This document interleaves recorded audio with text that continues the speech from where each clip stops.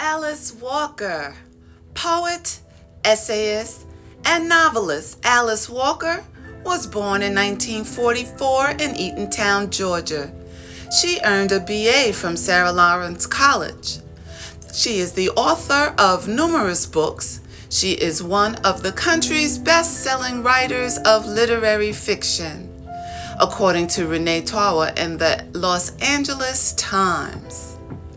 Walker is a feminist and vocal advocate for human rights, and she has earned a critical and popular acclaim as a major American novelist and intellectual.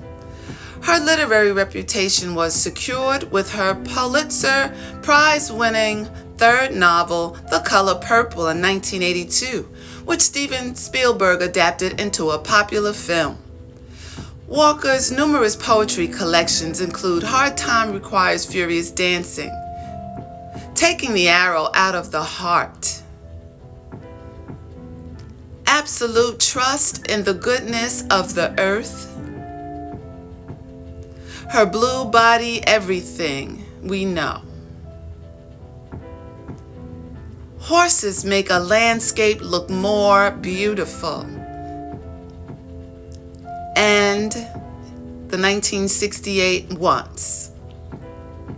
Her many honors included the O. Henry Award, the National Book Award, and fellowship from the Guggenheim Foundation, the MacDowell Colony, the National Endowment for the Arts, and the Radcliffe Institute. Publishers Weekly reviewers offered high praise, characterizing Walker as composed, wry, unshaken by adversity, and suggests that her strong, beautiful voice beckons us to heal ourselves and the planet. Alice Walker, celebrating Poetry Appreciation Month.